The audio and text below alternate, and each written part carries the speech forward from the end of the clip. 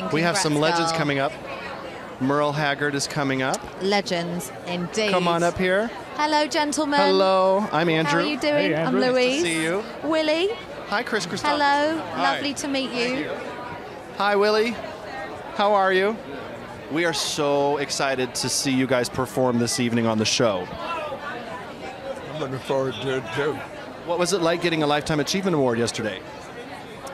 About the same as today.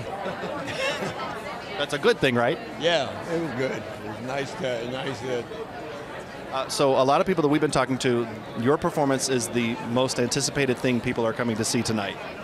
Oh my God. It's a Grammy moment. This is a Grammy moment.